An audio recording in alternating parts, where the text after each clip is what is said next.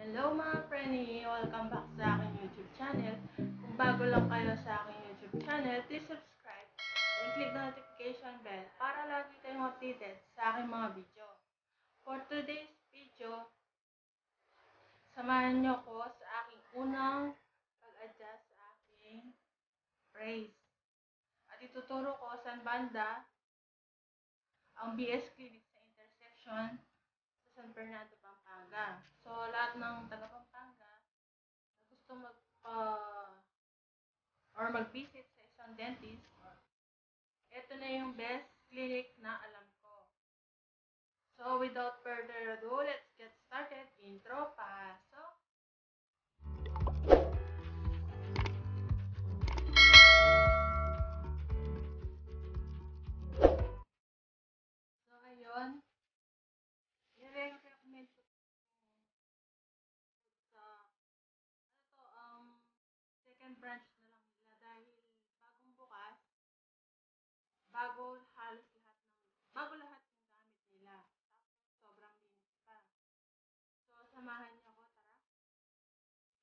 So, ito malapit na tayo sa intersection.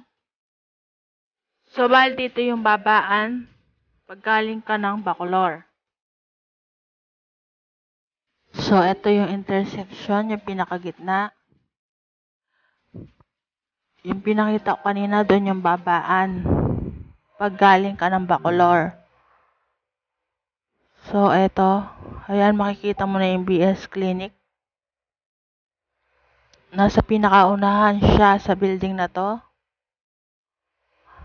Ayan. So, bali, bababa ako niyan sa may Jollibee.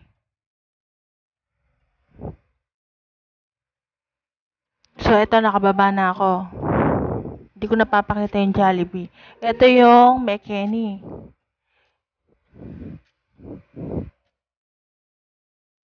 Ito yung overpass. Tapos, sa left side, yun yung McKinney. O, diba? Tapos, katabi lang siya ng Bud's Barbershop. Ito na yung BS Clinic.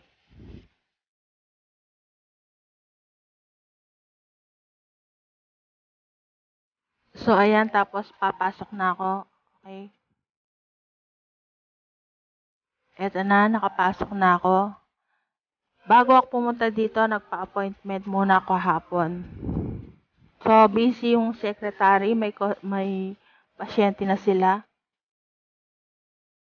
So, ayun. Hanggang dito lang yung kaya kong ipakita kasi bawal na yung ipakita yung ginagawa nila ako. Okay? So, update ko kayo mamayang pag-uwi ko. At least nakita nyo na ako sa banda yung BS Clinic.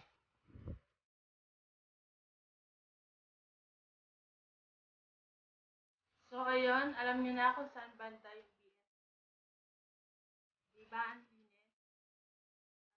Bago pa. Tapos, sa maganda yung yung clinic nila, yung mga dentista nila doon is mababait. Tapos, hindi sila, ano, yung gahangan sa pera. Hindi ka nila peperahan. Fresh yung, ano talaga, um, labor talaga yung babayaran mo at hindi ka yung pupwersahin magpagawa kung ano yung lang yung gusto mo at ano yung kaya mo ipagawa. So, bali yung una kong, nung nagpa-brace ako, na 8,000 ako. Down payment na yon isang cleaning at saka isang pasta. Tapos ngayong nagpa-adjust ako, na 3-1 ako. Bakit? Tatlong 1.5 sa for adjustment, tapos yung pasta, dalawang pasta yung pinasta sa akin, tig 700. Tapos yung 200 para sa um, yung PPE, yan para sa COVID, para safe tayo. So, ayun, kung ako sa inyo, dito na kayo magpagawa. bukod sa mura na, malinis, bago yung mga gamit, ganun din yung mga dentista. Mababait. Fresh yung ano talaga. Labor lang.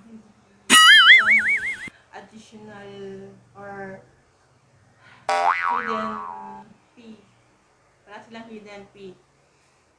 So, ayun.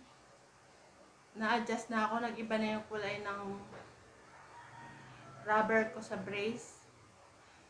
Ito na yung pang first. Ito yung first adjustment ng aking brace. Tapos, kapag nagpa-brace, dapat regular nagpapa-adjust ng brace. Bakit? Dahil para mapaayos yung ngipin. Ngayon, kapag naayos na yung ngipin mo, kailangan mo ring alagaan.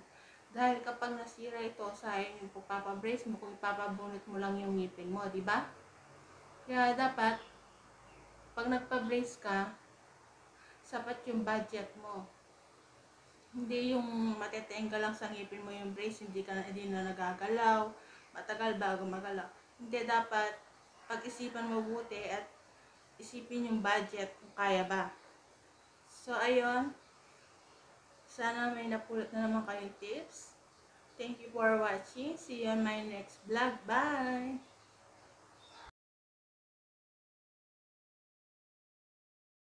Hello mga preni! Hello mga preni! Welcome back sa aking YouTube channel. Kung bago lang kayo sa aking YouTube channel, please subscribe and click the notification bell para lagi kayong updated sa aking mga video. For today's video, samahan nyo kung